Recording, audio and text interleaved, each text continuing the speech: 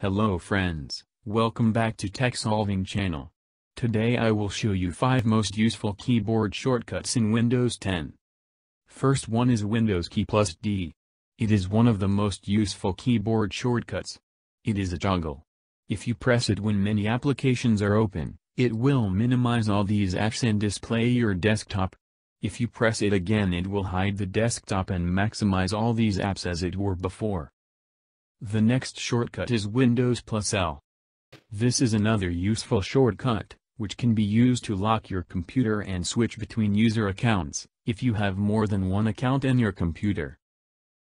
The next one, Windows plus right or left arrow key.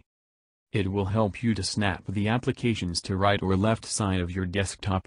For example, if you are writing something in MS Word, taking the content from a PDF file in your computer, you need both files open in your desktop at same time.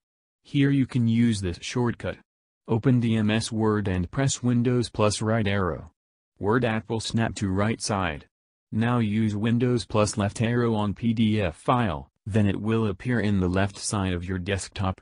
Now you can use both applications smoothly. The next one is Windows plus Tab shortcut. It helps you to manage multiple tasks. It will open a task view. And you can switch to any open application in your PC. Here you can also add virtual desktop, so that you can do two different kinds of works in two different desktops. Press Windows plus Tab. Here in the bottom right side click on New Desktop. If you create a new one, the applications opened in the first desktop won't be shown up here. If you press Windows plus Tab again, you can simply switch between your desktops and delete it, if you want to.